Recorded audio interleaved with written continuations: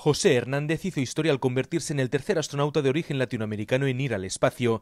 A sus 61 años asegura que él quiere ser una inspiración para los más de 50 millones de hispanos que viven en Estados Unidos. Sus padres inmigrantes mexicanos trabajaban en el campo, mientras él soñaba en la escuela con entrar a la NASA. Mucha gente dice, ¿te sientes como un héroe? No, un héroe no, pero un modelo a seguir sí, porque mi vida uh, es un ejemplo de qué es lo que se puede lograr con el estudio, la preparación. Llegó a ser rechazado en la NASA hasta en 12 ocasiones, pero él no perdió la esperanza y con perseverancia logró ser astronauta. Ahora su biografía ha quedado plasmada en la película A Millones de Kilómetros de Amazon Studios, protagonizada por Michael Peña y que repasa su vida desde su niñez hasta que llega al espacio.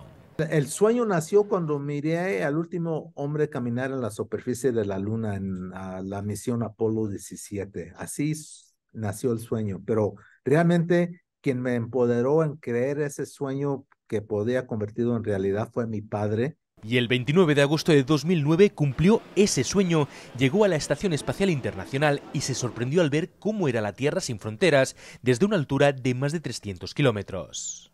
No puedes distinguir dónde terminaba un país e iniciaba el otro y yo dije, Dios mío, tuve que salir fuera de este mundo para realizar que las fronteras es un concepto hecho por el humano, diseñado para separarnos y qué triste porque desde mi perspectiva, allá abajo somos solo uno.